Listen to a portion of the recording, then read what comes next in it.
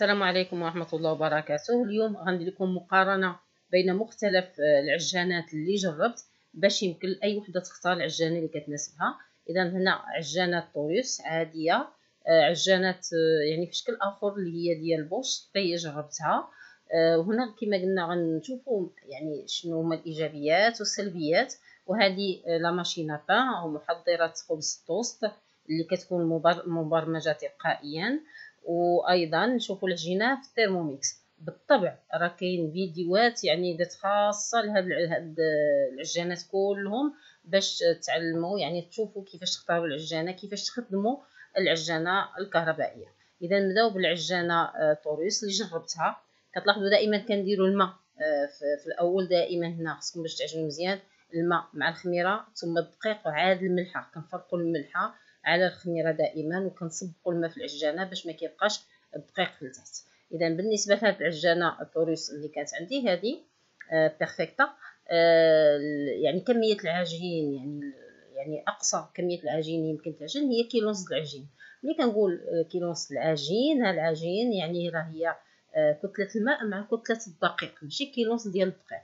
ولا تعرف إلا بغيتو تعرفوا بالنسبة للعجانات ديالكم كيفاش تعبروا كمية العجين اللي خاصكم باش ما تهلكوش العجانه ديالكم راه كاين فيديو خاص أيضا غنوضع العناوين ديالهم في أو الروابط في صندوق الوصف. اذا هاد العجانه طوليس فعلا كتعجن مزيان وهنا راه كتشوفوا النتيجة آه، بعد ما عجنت. وهذا هو الخبز اللي حصلت وهذا هو المخمار أيضا اللي حصلت عليه من ملي استعملت آه، العجانه هذا خبز القمح أيضا.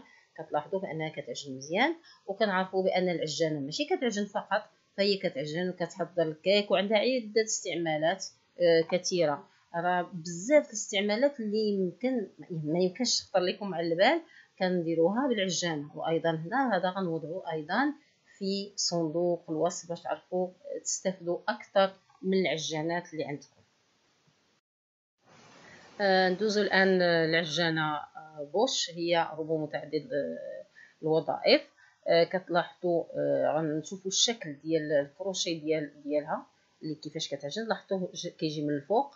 دائما نفس الطريقة اللي كنستعمل في العجينه لكن هنا اللي كيميز هاد العجانه أنها يعني قوية وكتستحمل كمية كبيرة من العجينة. حتى ل 4 كيلو ديال العجينة يمكننا نعجنوها بهاد العجانه يعني كتعجن ليا الخبز كتير بالنسبة للعائلات اللي آه، كبار. طبعا عندها بزاف الخاصيات راه يمكن تطلعوا على الفيديو الخاص اللي درت لهاد آه، العجانة. أيضا هي كتعجن مزيان بزاف لاحظتوا بان كت, كت يعني عجينتها مزيانة. آه، هذا خبز بالطبع أو عجين كامل. وكما قلنا راه كتعجن كمية كبيرة. كما يمكن نحضروا فيها كمية كبيرة ديال الحلويات. راه يمكن نطربوا فيها من جوج ديال البيضات حتى عشرين بيضة. وبالتالي كيمكننا نصاوبو كمية كبيرة من الحلوى فيها. ويمكننا نضيف لها يعني اكسسوارات أخرى باش كتكون روبو متعدد التخصصات أو الاستعمالات. آه نشوفوا الآن هاد محضرات آه الخبز أو الطوست اللي كيسولني عليها بزاف واللي درت عليها بزاف ديال الفيديوهات. هذه مبرمجة. اذا آه كنصاوبوا فيها كنعجنوا فيها. يمكننا نعجن. إلا أن مدة العجين اللي كيسول راها ساعة ونص. ماشي كلها عجين فيها عجين وتخمار.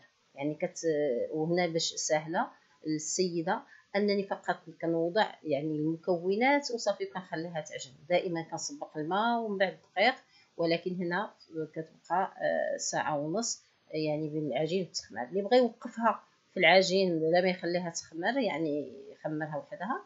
أو يمكننا أيضا نصوب بها خبز التوست خبز التوست أيضا كاين برنامج هناك عده برامج فيها.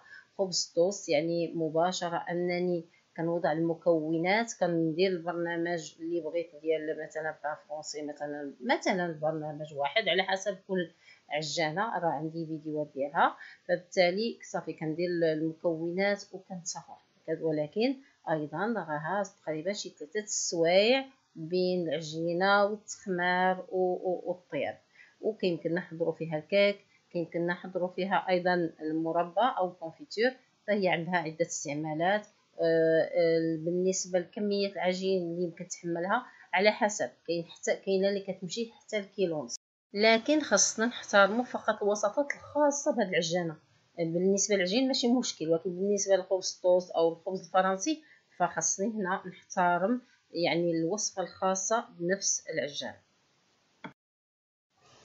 بالنسبة للترموميكس حنا كنعرفوا بأنه يعني هو روبو يعني شامل ومن بين الوظائف اللي كيقوم بها هي العجينة. حنا كنقرروا دابا العجانه ديالو. آه يعني الكميه الكثيره ديال أقصى كمية تقريبا هي كيلو ونص كيلو 200 غرام. آه هنا اللي كيميزو أنه كيمكن لنا يطحن لنا مثلا الشعير ولا القمح كنقدروا يعني نطحنوا الحبوب. كما في خاصية يعني كي كيوزن لنا كنقدروا نديروا قياسات يعني ديال الدقيق وديال الماء ويمكن لنا أيضا بالنسبة للعجينه مباشرة أننا نختار البرنامج ديال العجينه وفقط حنا كنختاروا المدة الزمنية وكنخليه يعجن. آه، يمكن نستعملوا فقط الماء بارد لأنه كيخلي آه، يعني كيدفي هذيك العجينه كيعجن مزيان. لقيت بأنه أيضا كيعجن مزيان يعني هو جيد في العجينة. هنا عنده خاصية التخمار الا بغينا نخمره اذا هذا بالنسبة لمختلف العجانات اللي جربت. كنتمنى نكون فدتكم وكنتمنى أنكم تزوروا القناة ديالي تشجعوني إلا عجباتكم وتشوفوا الفيديوهات الخاصة لكل عجانه وكيفاش تختاروا عجانه وكيفاش تفيدكم يعني ما يعني تحافظوا عليها. وأيضا كمية الدقيق أو العجين اللي تستعملوا. وأيضا يمكن لكم تعرفوا جميع استعمالات العجانه الكهربائية. دمتم بخير.